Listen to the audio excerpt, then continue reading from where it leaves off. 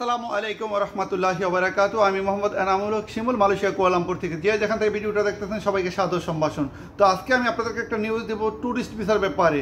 দেখেন ট্যুরিস্ট ভিসায় অনেক ভাই ব্রাদার মালয়েশিয়াতে আসতে চাচ্ছেন যারা প্রকৃতভাবে ট্রাভেলার যারা সত্যিকারভাবে ঘুরতে আসবেন, আবার কিছু কিছু লোক আছে যে ট্যুরিস্ট ভিসায় এসে মালয়েশিয়াতে কাজ করবেন এখানে দুই ধরনের লোক আছে। এখন নতুন যারা, কিছু কিছু লোক আছে যে কলিং ভিসা দেরি হওয়ার কারণে স্টুডেন্ট ভিসায় সরি ট্যুরিস্ট কলিং ভিসা দেরি হওয়ার কারণে আপনার ট্যুরিস্টে এসে মালয়েশিয়াতে কাজ করার চিন্তা ভাবনা করতে যাদের রিলেটিভ যারা অনেক রিলেটিভ আছে মালয়েশিয়াতে কাজ করতে, তুই যেভাবে পারিস মালয়েশিয়া আস। তুই যেভাবে পারিস মালয়েশিয়া আস, আসলে আমি তোর কাজে লাগাই দিতে পারব, আবার পারমিট করে দিতে পারব। কিছু ধরনের লোক আছে ভাই।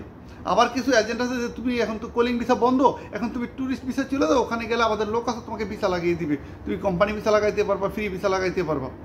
ঠিক আছে? তো অনেকে অনেক ধরনের কথা বলে। আর কিছু লোক আছে যারা প্রকৃত পক্ষে যারা ট্রাভেল করতে পছন্দ করেন, বিভিন্ন দেশ ভ্রমণ করতে যারা পছন্দ করেন, ওই সমস্ত কিছু ক্যাটাগরির লোক রয়ে গেছেন। কিছু ধরেন ব্যবসায়িক মানুষ আছে আমরা, কিছু ব্যবসায়িক, কিছু চাকরিজীবী, ভালো বেতন চাকরি করে প্রাইভেট কোম্পানিতে আছে। তো তাদের শখ হচ্ছে বউ বাচ্চা নিয়ে, পরিবার নিয়ে বিভিন্ন দেশ ভ্রমণ করা। তো ওই সমস্ত বাইদের উদ্দেশ্যে আজকে আমার এই ভিডিওটা। দেখেন, গত পরশু দিন রাত্রে মালিন্দ এয়ারলাইন্স লাহোর থেকে একটা ফ্লাইট আসছে, পঁয়তাল্লিশ জন যাত্রীকে রিপোর্ট করেছে এয়ারপোর্ট মালয়েশিয়ান এয়ারপোর্ট কথা বুঝতে মালয়েশিয়া ইমিগ্রেশন পঁয়তাল্লিশ জন যাত্রীকে রিপোর্ট করেছে। তো এখন আপনাদের কাছে বিনীত অনুরোধ, যারা প্রকৃত পক্ষে ব্যবসায়ী, যেমন পূর্বে মালয়েশিয়াতে বহুবার যাতায়াত করছেন, শুধুমাত্র তারাই এখন ট্যুরিস্ট ভিসাতে মালয়েশিয়াতে আসেন, ব্যবসায়িক পারপাসে ঠিক আছে? আর যারা শৌখিন মানুষ, চাকরি করেন বা ব্যবসা করেন আগে কখনোই মালয়েশিয়াতে আসেন তাদের কাছে আমি বিনীতভাবে অনুরোধ করব, এই মুহূর্তে, এই আগামী দুই, এক মাসের ভিতরে আপনি মালয়েশিয়া ট্রাভেল করার চিন্তা বাদ দেন মাথা থেকে। এখন ভাই ইমিগ্রেশন খুব কড়াকড়ি, ঠিক আছে? আপনার হাজারটা প্রশ্নের সম্মুখীন হইতে হবে। আপনার হাজার ডকুমেন্ট থাকার পর, আপনার প্রপার ডকুমেন্ট থাকার পর আপনাকে মালয়েশিয়ান ইমিগ্রেশন ফেরত দিতে পারে ভাই।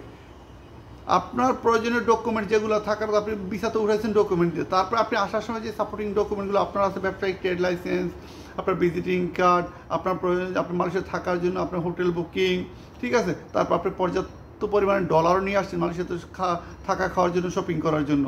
ঠিক আছে? এত কিছু থাকার পর আপনাকে ইমিগ্রেশন এন্ট্রি দিবে না। আপনাকে ডিপোর্টেড করে আপনাকে দেশে ফেরত পাঠাবে। তো আপনাদের কাছে বিশেষভাবে অনুরোধ করতে যারা একান্ত প্রয়োজন না হইলে, খুব বেশি প্রয়োজন না হলে মানুষ এই মুহূর্তে ট্যুরিস্ট ভিসা আসার দরকার নেই।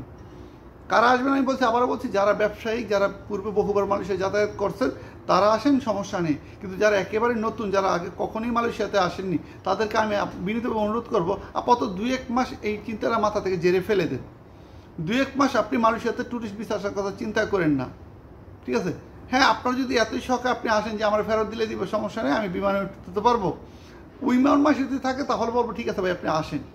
সমস্যা নেই, আসেন, এয়ারপোর্টটা ঘুরে দেখে যান মালয়েশিয়ান এয়ারপোর্টটা। বেশিক্ষণ ঘুরতে পারবেন বিমানতে নামার পরে আপনার সরাসরি ইমিগ্রেশন ইমিগ্রেশন থেকে আপনাকে যে রুম রাখে, ওই রুমের ভিতরে রেখে দিবে। তারপর আপনার দুই, তিন দিন পর আপনাকে ফেরত পাঠিয়ে দেবে দেশে। ঠিক আছে? এখন হয়তো বলতে ভাই, সবাইকে ফেরত পাঠাবে? না ভাই, সবাইরে পাঠাবে না।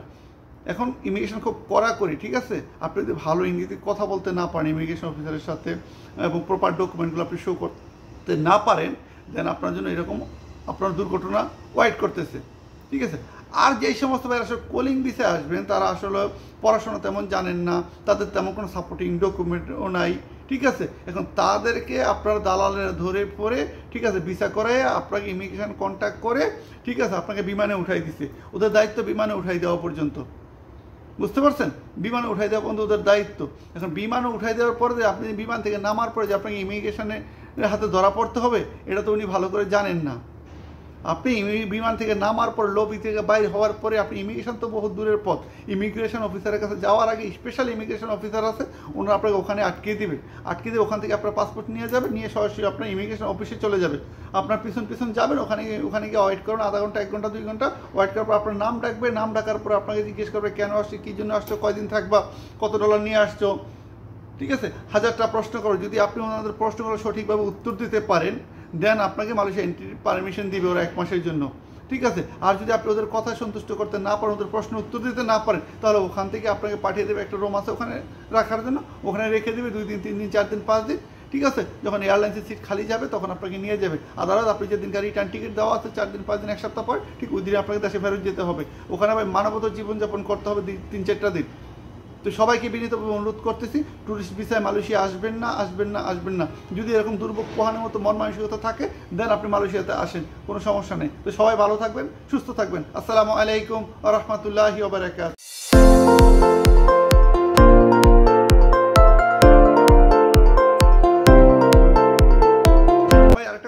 আরেকটা কথা বলি, একটু ধৈর্য ধরেন ইনশাল্লাহ কলিং ভিসা খুলবে, ঈদের পরপরই কলিং ভিসা খুলবে। তো আপাতত এই ট্যুরিস্ট ভিসার চিন্তাটা মাথা থেকে জেরে ফেলে দেন। সামনে ঈদ ঈদ আনন্দ উদযাপন করুন, সবাই মিলেমিশে, পরিবার সবাইকে মিলেমিশে ঈদের আনন্দ করুন, এটাই সবচেয়ে আপনাদের জন্য মঙ্গল এবং ভালো হবে। ওই ট্যুরিস্ট ভিসা আইসা, আর কলিং তো বন্ধ কলিংয়ের ব্যাপারে কেউ কারও কাছে পাসপোর্ট টাকা পয়সা দিবেন না, ঠিক আছে টোটালি দিবেন না, সরকার ঘোষণা হওয়ার আগ পর্যন্ত, আর যদি আপনার, কি যেন বলতে যদি আপনার একান্ত ইচ্ছে হয় মানুষের ঘোরার, ভ্রমণ করার, তাহলে আপনি আসতে পারেন, ঠিক আছে? সেটা আপনার ইচ্ছে, ভাই, আপনি আসবেন, কিন্তু আমি আপনাকে পরামর্শ দিন এই মুহূর্তে মানুষই আসার জন্য। তো সবাই ভালো থাকবেন, সুস্থ থাকবেন।